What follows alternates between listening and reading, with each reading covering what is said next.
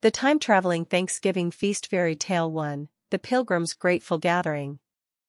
In the picturesque town of Harmonyville, nestled between rolling hills and babbling brooks, lived a group of friends who held a special tradition every year, a grand Thanksgiving feast. This feast was unlike any other, where laughter echoed through the air, and the aroma of delicious food filled every corner of the cozy cottage.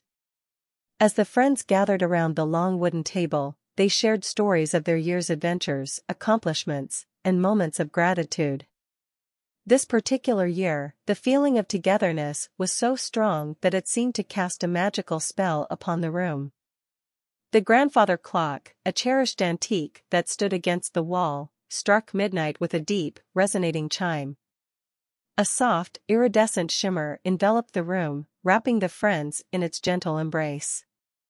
Before they could comprehend what was happening, a radiant light surrounded them. The friends exchanged bewildered glances as they found themselves standing on a sandy shore, facing a vast expanse of ocean. The scene before them was unlike anything they had ever seen. A settlement of modest thatched roof buildings stood amidst the wilderness, with a sense of unity that warmed their hearts. Their initial surprise gave way to realization. They were standing on the shores of Plymouth, Massachusetts, in the year 1620. The historical significance of this place was not lost on them, and they felt a deep sense of honor to be witness to such a monumental moment. As they observed the pilgrims, dressed in simple yet sturdy garments, going about their tasks, the friends were struck by the profound gratitude that permeated the air. Despite the harsh conditions they had endured, the pilgrims were preparing for a feast to express their gratitude for the bountiful harvest. It was not a feast of grandeur, but one of humility and genuine thankfulness. Moved by the scene before them, the friends joined the pilgrims in their preparations.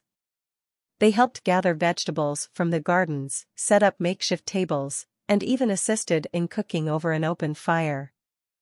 The simplicity of the tasks reminded them of the essence of Thanksgiving, the act of coming together and sharing what they had, no matter how humble. As the feast commenced, the pilgrims shared stories of their journey, of the trials and tribulations they had faced. The friends listened intently, their hearts heavy with the weight of the pilgrims' sacrifices. In return, the friends shared stories of their modern lives, of bustling cities, technological marvels, and the marvels of flight. Laughter erupted as they tried to explain concepts that were utterly foreign to the pilgrims. Amidst the stories and laughter, the friends found themselves sitting among the pilgrims as a profound moment of thanksgiving took place. The leader of the pilgrims stood and offered a heartfelt prayer, giving thanks for the harvest and the bonds that had been formed through their hardships. Tears filled the eyes of the friends as they felt the weight of this simple yet profound act of gratitude. Before they knew it, the shimmering light began to envelop them once again. As they returned to the present day, the sense of connection and appreciation lingered in their hearts. They looked around the familiar cottage, still filled with the echoes of their own laughter, and realized that Thanksgiving was not just about the feast, but about the gratitude that bound them together. In the days that followed, the friends couldn't help but reflect on their journey to the past. They realized that the essence of gratitude remained constant throughout history, regardless of time or circumstance. They were inspired to embrace the spirit of thankfulness in their own lives, to cherish the bonds of friendship, and to carry forward the simple yet profound lessons they had learned from the pilgrims' grateful gathering.